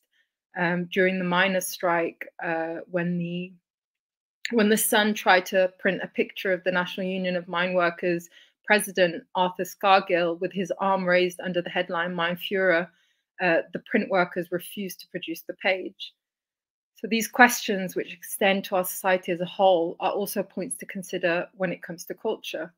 Um, so thinking about Ian's points, uh, we know that historically the industry is a sphere of struggle both as a place of employment as well as um, a powerful source of representation. The McCarthy era uh, saw popular culture as a source of political threat, so the government sought to actively control it. Uh, and as we know, the CIA funded painters, musicians, actors, etc., to both depoliticize the masses as well as push through a particular representation of the US abroad. And this is just one example that points to the very political nature of these cultural institutions, and therefore for the workers within them to know and collectively organize on that basis. Because states continue to fund culture today for their various political objectives, uh, especially given the use of culture uh, in the current war on terror, it shows the potential bridge between movements on the ground that function externally uh, to uh, cultural institutions and those who work within them. Uh, a few years ago, it was reported that the British government's counterterrorism propaganda unit was working on youth targeted campaigns in the Middle East and North Africa. Um, the British Council uh, led work in Tunisia, in, in Tunisia, Morocco, and Lebanon uh, that focused on cultural and artistic platforms to deliver messages about uh, alternative pathways to uh, vulnerable youth. Um, it was called Strengthening Resilience in the MENA. The program worked with national governments of each country uh, in the hope of recruiting local civil society groups and organizations into the project in order to, to supposedly steer young people away from radicalization and the possible recruitment into terrorist groups. Um, the entire thing was clearly a campaign to strengthen identification with the state and undermine feelings of social revolt and resistance that were rightly brewing. Um, similar to the methods uh, used by the CIA during the Cold War, hip hop culture, which included rap and graffiti, was uh, a key component in the strengthening resilience work. Um, what historically served as an art form which speaks to young people from oppressed groups about social consciousness, political frustrations, and state violence was co opted as a means of strategic communications by repressive states finally, I think it's important to note that the hope is not just to win uh, the media narrative or even uh, the media space materially, as I feel many, uh, particularly at this height of uh, the diversity industry, consider this to be the battleground and ultimate demand. It's about changing our society as a whole, and it's through developing networks and coalitions, building strong and loud movements that apply, pressure everywhere from below uh, that we shape the contents of the industries themselves. People do the right thing when there is a mass organized, politicized space that occupies the streets, the classrooms, unions, workplaces, mosques, churches, etc., etc. We develop ideas, we think about the issues that plague our world, and consider how we change them by coming together collectively, talking, and taking action. Um, it was the national visible uncompromising movement led by the striking miners, after all, that gave workers in the media the understanding and confidence to resist the toxic narrative. More recently than the miners uh, is the opposition to the UK government's prevent agenda. The wide coalition and movement across university campuses, faith spaces, schools, nurseries, healthcares, uh, and art spaces, which you know the IHRC was also so central to, reshaped its public image and forced repeated attempts by the government to rebrand it. Um, we must actively present and fight for different social realities in order for them to be represented within the media and cultural realms. Uh, a recent example to end on has been the response to uh, Netflix's Farha, uh, a film about a young girl's traumatic experiences during the Nakba, um, which has been attacked endlessly by Israel and which has led to an international mobilization to defend it. Um, this is only possible because of the resistance of Palestinians to Israel's occupation. Thank you so much, Malia. Um, yeah, the uh, the issue of, uh, of Farha um, has really become a global one. Uh, I suspect even uh, for some people who may not necessarily be able to access Netflix, but such as uh, the power and the promise of uh, of countering the efforts to silence and cancel and to to erase. ironically, given on the one hand, at least profess Western ideas of freedom of expression. And uh, here, efforts uh, being made uh, by those who claim to either be Western or emulating the West, and in fact, uh, trying to suppress that. Uh, well, we have a few minutes left, and so I would certainly like to invite any questions that our audience members have, please feel free to uh, uh, convey them via our comment uh, uh, section. Uh, otherwise, I'd like to go ahead and actually ask this this question. That it seems that one of the things that binds a lot of the remarks is is the idea of agency. I mean, as as Denijal had pointed out regarding Lebanon, and certainly something that was um, also um, affirmed by by Setareh uh, there's this idea of others trying to explain or to shape the narrative about either Iran or Lebanon, and in, in many ways, really erasing the voices and the representation of those who actually live in these places uh, to be able to then assert themselves. I mean, how many times do we then see on uh, actual uh, uh, media broadcasts those who are purportedly uh, affected and targeted? Uh, actually having their own voice. It seems as though it's always uh, some Western pundit or analyst uh, doing the explaining uh, of all aspects of that society, complex that these issues are. And certainly, as uh, as uh, Malia, you have just mentioned, the idea of building coalition. So, how do we then restore agency? and particularly, I'd like to focus on Muslims who are living within the so-called hegemon uh, how do we then provide for them uh, a set of tools uh, to then uh, claim the agency which they have, uh, which for which they have a right, in order to push back on these kinds of forces? I'll invite that a response from anybody. Okay. Uh, we have another question here. How central is the genre of the spy novel, the film, or okay, TV I mean, I, I was oh. waiting. Sorry, I was wait. I was being too polite. I didn't want anybody. I, I think the um, in some respects the, the crucial question of agency there, like um, I do think there is a kind of boringly, slightly banal um, material answer to that. You know, like there's there's there are real concrete as as both Laurens and Malia point out, there are real concrete material obstacles to overcome. Um, and in the UK, we have a situation where you have eight mainstream newspapers that are owned by billionaires, you know? And I'm sorry, that's not a, an incredibly sophisticated intellectual point, but it's a kind of banal wall that we run up against again and again. And until we find a way, and they're toxic, they're really toxic. You know, I'm British and working class, or not working class anymore, but I was working class before I became an academic. And like when you talk to people, it's just a completely different conversation. So many people are completely imbibing these discourses. Um, so I do think that agency. I think agency, I completely agree with the concept of agency. And um, don't get me wrong, I'm all for empowering people with agency. But there is a kind of neoliberal aspect to the use of the word agency, you know, um, demanding agency from people in situations where actually the things which are impeding them are massively systemic and have to be addressed at executive levels. It can't just uh, can't just be about empowering people with with voices. It's not just that. These are really, to some extent, almost insuperable conditions.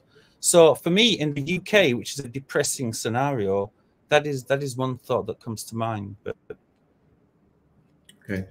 Laurens, how do you see this playing out regarding media? And I think uh, uh, piggybacking on yeah. what Ian said, when it comes to a few people, these oligarchs, these billionaires controlling media, we certainly see now the effects of Elon Musk, uh, who has bought Twitter and uh, seems to be uh, yeah. engaged in a reign of terror there. Yeah. I mean, you know, don't get me wrong. I am a Twitter user. There is a, you know, a little bit of a guilty pleasure in kind of seeing how that plays out. And you know it's mass exodus of people going to mastodon you know. But you know and and the various reports on what elon musk is like as a boss like i you know i have no no knowledge i don't know the man I have no comment on that. But you know yeah it's an increasingly concentrated industry. But also you know malia mentioned this about you know um, different independent organizations coming up and those kind of things you know. And you know we have this in all other industries as well you know um, i mean take something completely unrelated but you know if you think about the fashion brand armani right you have Armani Exchange, you have Armani, you know, Armani makes football wear now, football shirts and trainers, and you know, and all to you know capture an aspect of the market, right? And and to diversify its portfolio away from its luxury clothing brands.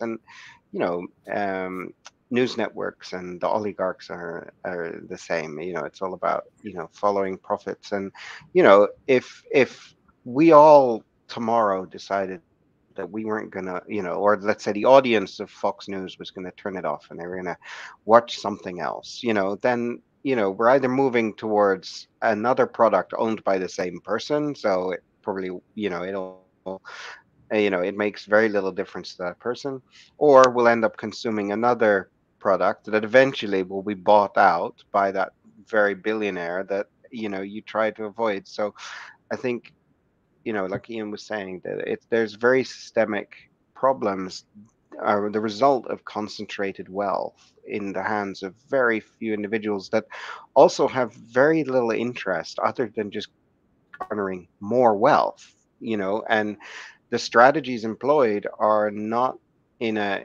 you know are not employed for the benefit of both the audience and the subject on which they report. It's just garnering more wealth.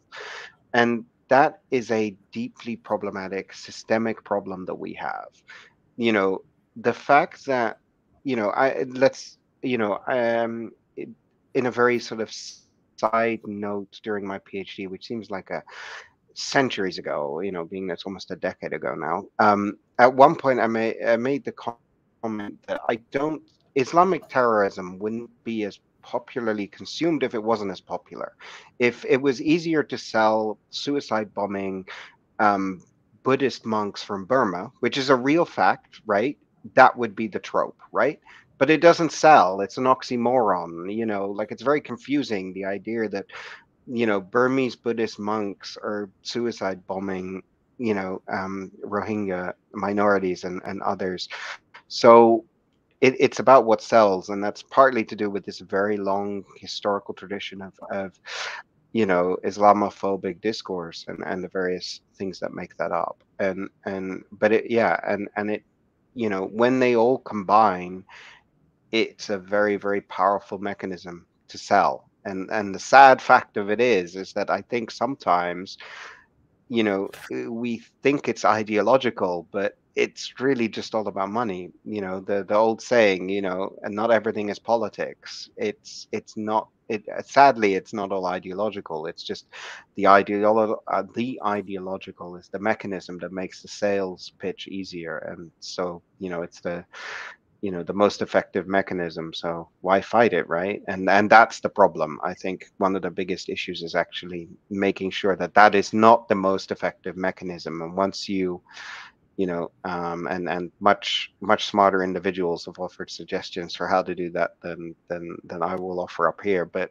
you know, um, but I think once that movement does actually start garnering more widespread support, then I think you know you actually have a fighting chance to to make some meaningful difference. Okay, uh, we have a comment from uh, someone in the audience asking, uh, "Would having more media in mother tongues help?"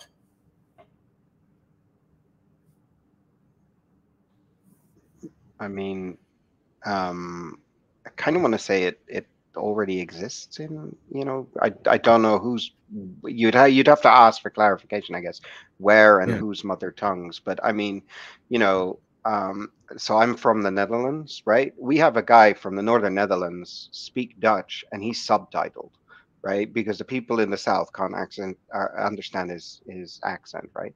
Now, I, I don't think Geordies get subtitled on the BBC, but that's the sort of effect you have, right? So, so uh, you know, um, but in in the UK, there's a sort of penchant for you know, depending on which outlet, whether the, the presenter has a northern accent or is a sort of you know, uh, public school educated individual. So, you know, what do those mother tongues look like? Is it accents? Is it regional representation? Are we talking about language? You know, um, you know, um, you know, Rai uh, Uno has a French, uh, sorry, has an Italian presenter. You know, um, if you go to, you know, to France, the, the you know, um, RDF or ARD in in Germany, they have German presenters, so that would be their mother tongue. So I, I you know, and they get subtitled where where necessary. So I don't think that's necessarily the the um yeah i don't know if that's really yeah, the issue so much. It, it, it, looks like it looks like the question is based on the notion of minoritized settings. I mean just one thing i'd like to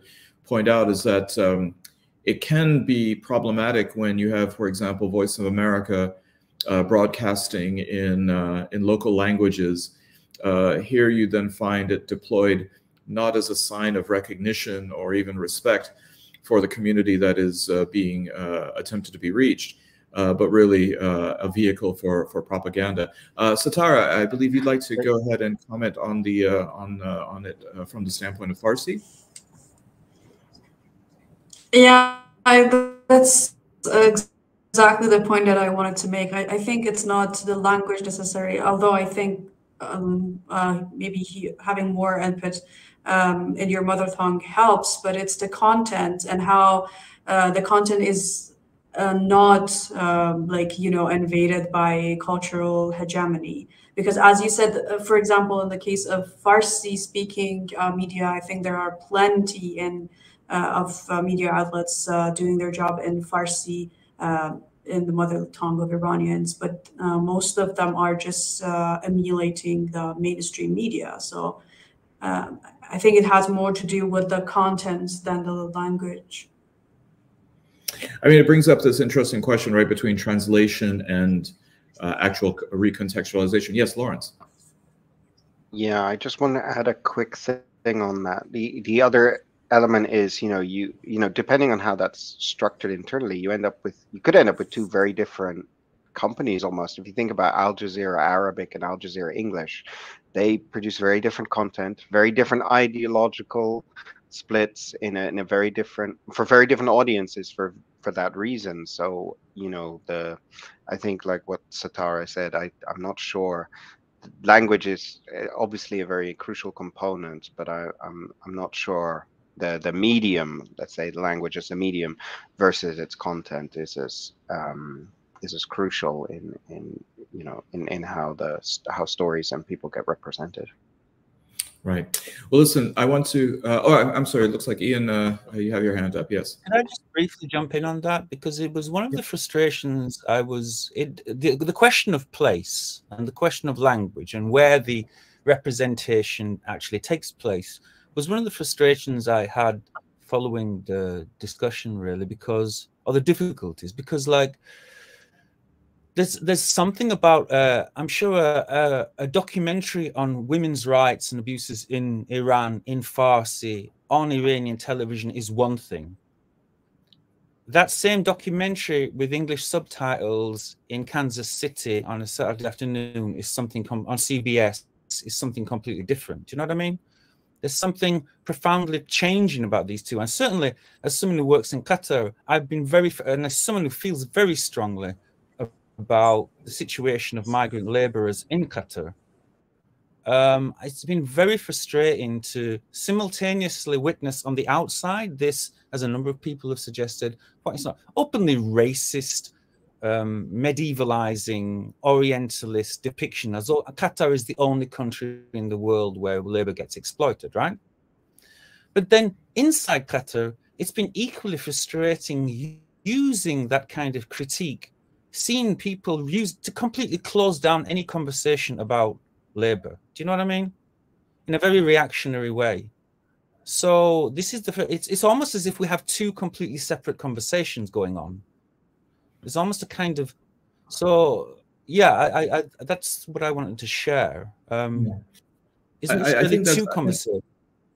Yeah, I think that's an important point, Ian, because uh, I, I remember speaking to some a Muslim student who was distraught with uh, the World Cup coverage when uh, one of the Qatari officials was uh, apparently asked in an interview uh, what was his perspective on on uh, migrant workers and their deaths.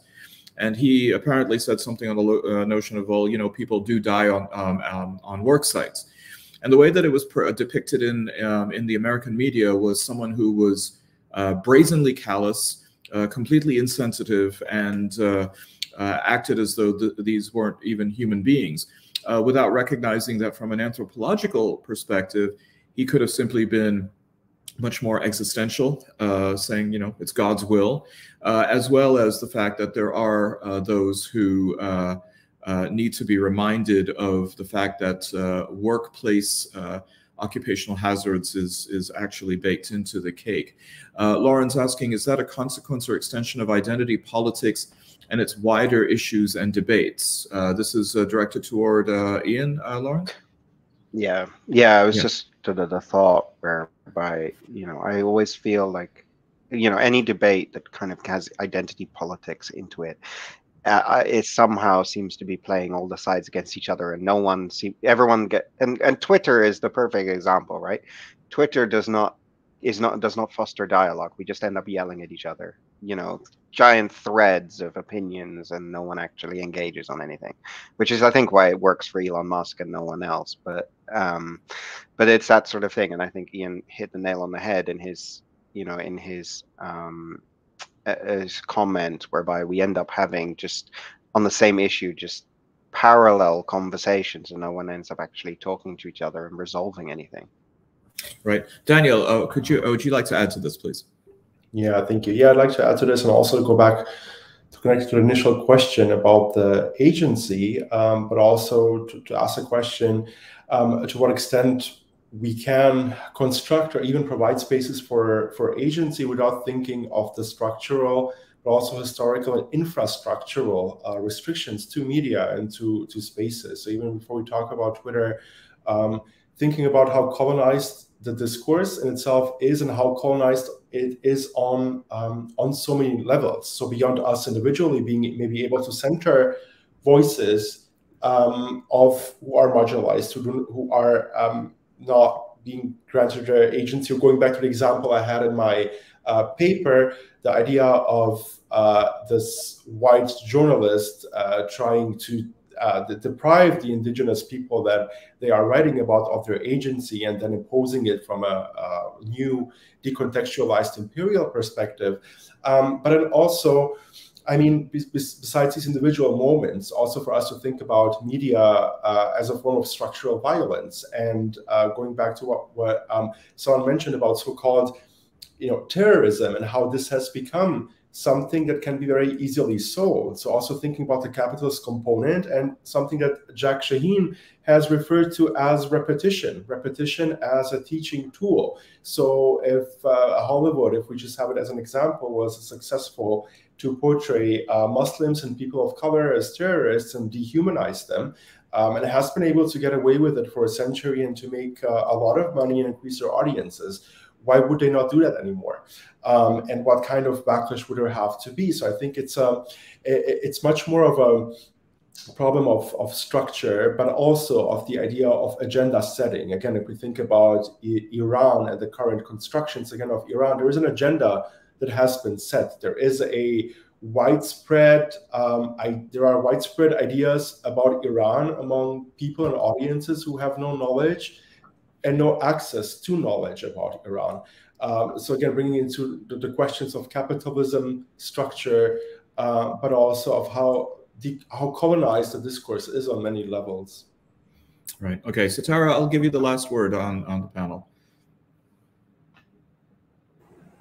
Yeah, I just wanted to add, like um, the probably the reactionary response that you get inside one country about the let's say human rights abuses or women's rights uh, violations is because like i personally this is the experience that i have had and i hear from many other iranian women including the ones that have been taking part in the protest that the intervention and the double standards towards them have made it very, very difficult. Like, I wouldn't want to have a conversation about women's rights inside Iran about anyone from outside because I think that's a domestic issues and we have been trying. And that's why I, I sometimes say, like, the um, the exaggerated coverage of the things that are going on in Iran and the and the like the uh, you know the hegemonic uh, and the Eurocentric notions of women's rights exploited to portray Iran as like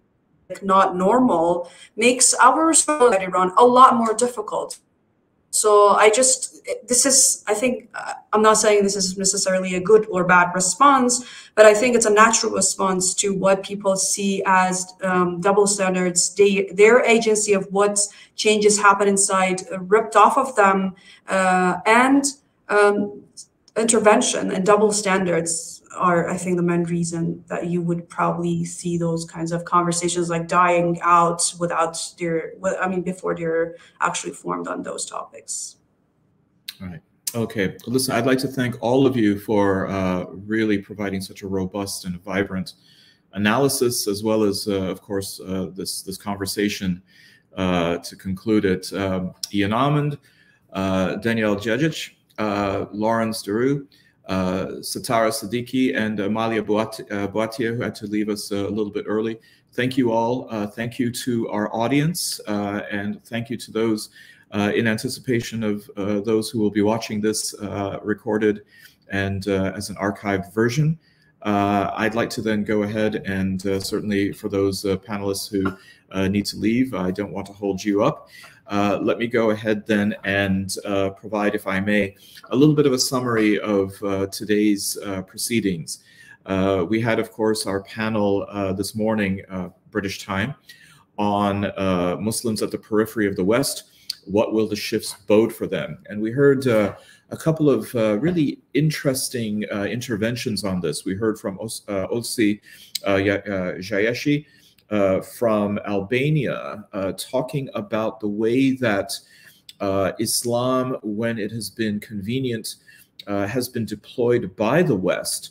Uh, in essence, really looking at this through the lens of opportunism, taking us through a history of the Balkan region, the suppression of Islam due to the Soviet era, and then this moment of opportunity for it to reemerge and to be revived and how the uh, narrative of Islam was then uh, manipulated and controlled by the kind of external intervention coming in uh, with uh, various actors uh, ambitiously trying to then formulate uh, narratives. whether it was the Saudis with um, an amplification of a Salafi narrative, or as we find later, even Western sources.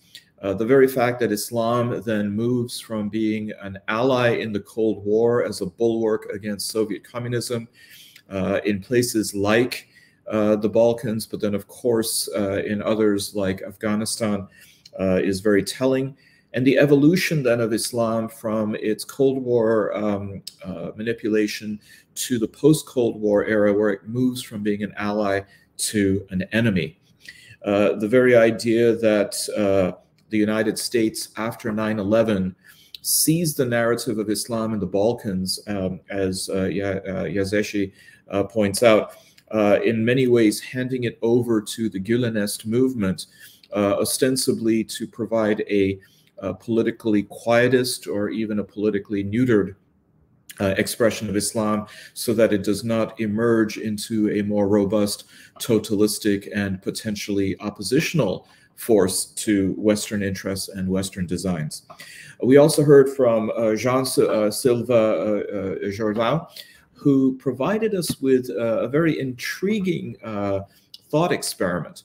What if we find then that there is, in fact, a realignment uh, away from the very typical and hackneyed binary of East versus West, with the East, of course, being represented in large uh, by the Islamicate. But what about the creation of uh, a northern megastate? Uh, the very idea of uh, Europe as already being uh, essentially a federal state, uh, the United States and Canada having come together to form a de facto superstate by treaties, particularly commercial and security interests driving that. And what if we were to add Russia uh, into this mix. And even uh, uh, Jordão uh, conceded that at this point it does not seem very likely, given the West's um, uh, purported antipathy toward Russia and its current posture regarding the Ukraine. But the idea of a new West, if you will, including Russia, uh, to then form uh, what would be seen as uh, an entente of uh, uh, anti-Islamic um, uh, positionality is, is an interesting one to then go ahead and consider. we heard also from Yasser Louati, who responded by examining this triple threat that the West perceives of Muslims, threats to national security, threats to national identity, threats to the national economy, and particularly uh, how it manifests itself in a country like France, and more specifically with the rhetoric of not only Emmanuel Macron, uh, but even people like Mélenchon, and quite obviously the far right. Uh, Muslims being seen as part of the periphery, but important to also recognize how they contributed to making Europe what it is today. Uh, certainly, that might not be uh, a badge of honor that Muslims want to necessarily carry with them, depending on how they perceive uh, Europe and more broadly the West. Uh, if it is a project uh, that is depraved, then I'm sure most people would not necessarily want to take credit for that. But if it is a, pro a project of success, then the marginalization of Muslim contribution uh, is also something which is not just benign neglect, recognizing that Europe would not have achieved its success, its power, its domination, and its hegemony were it not through colonization, exploitation, and even slavery, going all the way back to the 15th century. Uh, as the saying goes, standing on the shoulders of giants uh, would certainly be an apt one over here. And of course, various projects involving the colonial, the exploitative, and those that involve slavery had a disproportionately high amount of encounter with uh, the Muslim world. Uh, is this then uh, with, as uh, uh, Yasser described, an effort uh, against Islam? Is it a campaign against political Islam? And if it is, is it really then a fear of Islamism, as it is sometimes referred, or is it really an effort to simply uh, prevent and silence Muslims from being politically active, even if they're not uh, speaking from within uh, an Islamic narrative in doing so? Is the problem for Muslims uh, the fact that they want to politically engage, uh, that they want to participate, especially living in the West, in uh, democratic processes? Or is this an effort to just simply make them go away or uh, be swept under the proverbial rug? Uh, Arzu Merali also uh, was uh, inquiring about Islamophobia uh, as a central component of Western foreign policy and uh, was trying to identify perhaps when did it in fact begin? Uh, and it's an intriguing question to go ahead and ask at to what is that origin point, uh, because from that point, then of course we formulate uh, all kinds of um, uh, elements of causation, and then also strategies on how to then try to uh, move beyond that step. And uh, it seems as though that timeline could be sent even further and further and further back when it comes to Western forms of Islamophobia, uh, predating 9 11, uh, predating the Cold War, predating uh, even the Iranian Revolution, going back not decades, but in fact centuries. How that then affects both Muslim perceptions of the West, Western perceptions of Muslims and Islam, and then also the uh, self-perception of the West, uh, particularly at times like now, where there are so many shifts abound. Uh, the notion of uh, neither the West nor the Islamicate being static uh, is an important factor to consider as we engage in these kinds of discussions and dialogues. The second panel, uh, the second plenary session, Perceptions and Representations of Muslims Within the Hegemon, examined and explored Muslims living in the proverbial belly of the beast, not living in the periphery, not being uh, geographically on the receiving end of the Western shifts uh, and its attitudes and actions. Uh, but what about Muslims living within the West, uh, being privy to all of these changes, uh, but facing, uh, one might say, either a different set of challenges or two uh, different kinds of challenges, not just the ones that they're facing domestically, but also being privy to those that uh, their co-religionists are facing in the periphery, living within not a liminal space, but in fact living in two spaces. And a big driver for this, of course, is uh, media representation of Islam and Muslims respectively. And Laurens uh, de Rooij uh, provided a very nice architecture of the various avenues for changes that need to be examined. Uh, too often, uh, there is an emphasis almost exclusively on discursive change, uh, but Laurens pointed out that there are at least two other areas that need to be assessed. One is the changing psychological processes of uh, not just the uh, consumers of media, but also uh, the psychological processes of the media outlets themselves. And then also examining along with that is considerations for the organizational changes within the media sphere. Uh, these can uh, include uh, compliance, clarification, culture, and connection. All of these then become elements that have to be explored when it comes to media outlets and help better understand what in fact drives them when it comes to the kind of representations and the framing of issues and the framing of entire communities uh, that they might have. We also heard from uh, Ian Almond, who decided to take a look at world literature as being the lens through which understanding then Muslim perceptions, Muslim self-perceptions in the West. And mapping this as having a broader historical arc, where the, even the term world literature uh, can go back to the 19th century with Goethe, uh, taking a look at how it then develops into a pedagogical phenomenon within the United States in, in the 20 in the 20th century, and the whole notion then of what exactly is world lit. It seems that if it is really the whole world, then it would be redundant to, in fact, even say that or to seem as though it is an exception to some other norm. But in fact, in very, uh, in very many ways, it is really an exception to the reality. Uh, as Ian pointed out, the West is only 10% of the planet, uh, but in fact, it has the majority of the, or even a monopoly on the uh, space of literature and world literature then is uh, made to be felt uh, or cast as really a minoritarian position. Uh, the number of Nobel Literature laureates, uh, the space within the Norton, Anthology, which is an authoritative text on uh, literature, uh, which novels are considered to be among the greatest and forming canons, becomes incredibly important, especially if then these are not just deployments of racism, uh, but those who then are shaping the room, shaping the curricula that Muslims in the West then are experiencing within the classroom.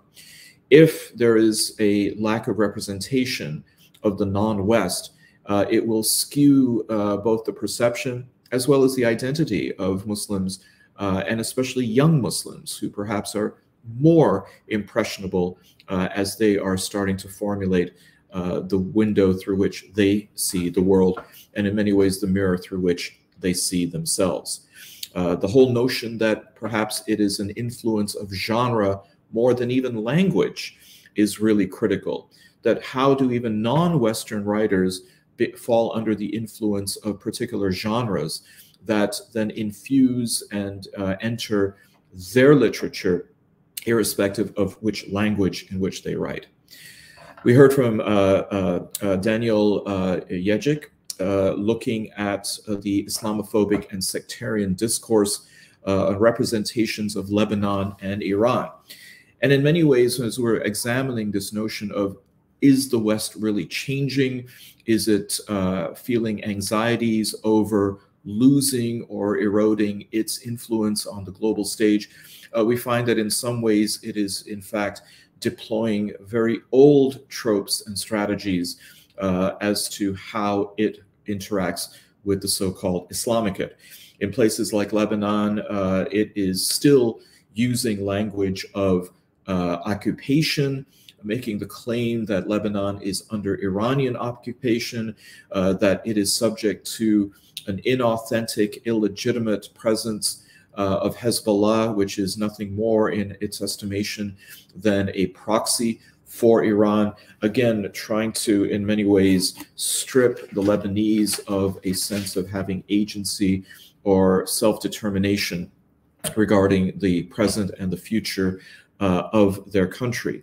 This then, of course, falls into uh, many narratives that we have experienced and witnessed before, whether it is white savior complex, white man's burden, uh, and that way we can ask the question that is it really so much of a great reset that the West is having, having or is this simply uh, a reversion back to uh, the status quo regarding the use of Orientalist and Islamophobic tropes?